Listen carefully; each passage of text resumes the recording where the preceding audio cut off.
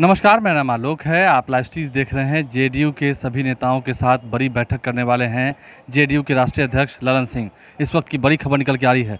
जब से ललन सिंह राष्ट्रीय अध्यक्ष बने हैं, उसके बाद पहली बार ये मौका होगा।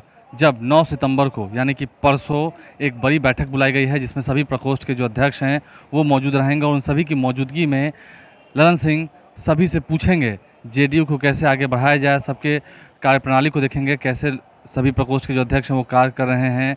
संगठन का जो विस्तार हो रहा है, वो कितने हद तक ठीक तरीके से हो रहा है, इन तमाम चीज़ों के बारे में जानकारी वो लेंगे। और देखने वाली बात यह है कि इस बार जब ये बैठक होगी तो कहा यह भी जा रहा है कि जो लोग, जिन लोगों ने पार्टी के अंदर अच्छा काम किया होगा, उन्हें प्रोत्साहित किया जाएगा और जो लोग पार्टी की जिम्मेदारियों को ठीक से नहीं निभा रहे होंगे, उन पर गाज भी गिरेगी। पार्टी के प्रदेश अध्यक्ष उमेश कुशवाहा क्या कुछ कह रहे थे, ज़रा सुनिए। संगठन का प्रकोष्ठ है। सभी संगठन के प्रकोष्ठ के प्रदेश अध्यक्ष को बुलाया गया है।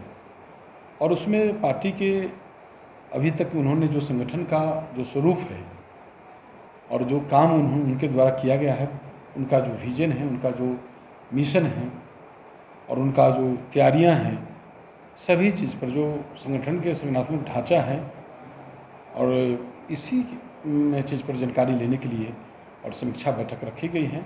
उसमें विस्तार से अपना जो ब्यौरा है उपलब्ध कराएँगे और राष्ट्रीय अध्यक्ष जी उपस्थित रहेंगे उनके समक्ष ही सभी जो सम्मानित अध्यक्ष हैं हमारे प्रकोष्ठ के उनके साथ बैठक होगी। अच्छा राष्ट्रीय अध्यक्ष फीडबैक लेंगे और आगे की जो रणनीति होगी उसको भी टास्क नहीं बिल्कुल।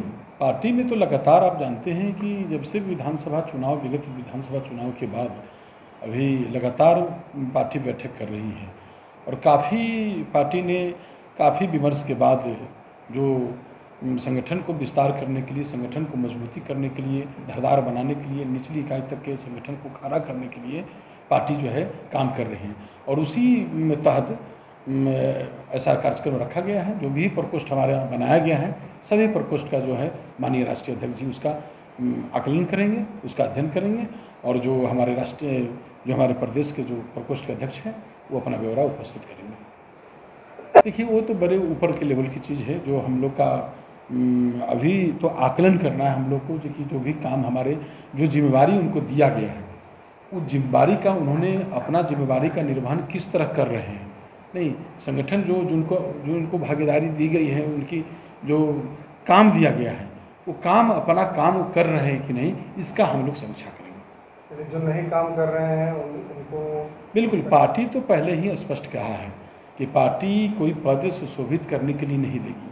जो काम करने वाला लोग हैं, जो काम करने वाला पदाधिकारी हैं, उनको बेहतर जो काम करेंगे, उनको जिनका अच्छा काम होगा, प्रदर्शन उनका अच्छा होगा, उनको हम लोग प्रोत्साहित करेंगे, उनको आगे बढ़ाएँगे। जो काम, जो जो अपनी जिम्मेवारी से माने दूर भाग रहे हैं, अपनी जिम्मेवारी निष्ठापूर्वक नहीं कर रहे हैं निश्चित रूप से तो 9 सितंबर को बैठक होनी है और क्या कुछ उमेश कुशवाहा, जो कि जेडीयू के प्रदेश अध्यक्ष उन्होंने क्या कुछ कहा? आपने सुना है, जेडीयू के राष्ट्रीय अध्यक्ष ललन सिंह इस बैठक का नेतृत्व करेंगे, इस बैठक की अध्यक्षता करेंगे और तमाम उन बातों पर चर्चाएँ होंगी। देखने वाली बात ये होंगी कि कुछ बड़े चेहरों पर क्या गाज गिर सकती है, कुछ प्रकोष्ठ के अध्यक्ष क्या बदले जा सकते हैं, जो अपनी जिम्मेदारियों को अच्छे से निभा रहे हैं। वहीं जो लोग अच्छे से काम कर रहे हैं, पार्टी संगठन का विस्तार कर रहे हैं, जिनका काम दिखेगा राष्ट्रीय अध्यक्ष को क्या उन्हें प्रोत्साहित भी किया जाएगा, उन्हें कुछ इनाम भी मिलेगा।